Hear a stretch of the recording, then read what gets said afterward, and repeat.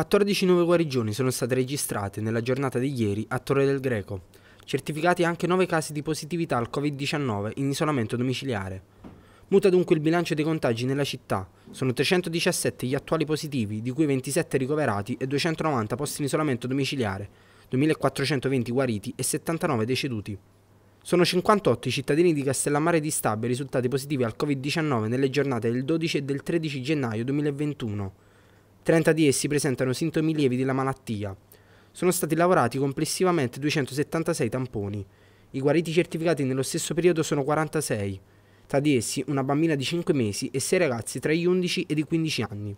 Sono 3.047 i contagiati totali dall'inizio della pandemia a Castellammare, di cui 41 deceduti.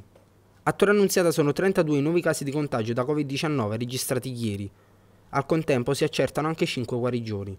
Sono 248 i cittadini attualmente positivi, 240 posti in isolamento domiciliare e 8 ricoverati. Sarà 1638 il numero delle persone che hanno contratto il coronavirus a Torre Annunziata dall'inizio dell'emergenza sanitaria, di cui 1359 guarite e 31 decedute.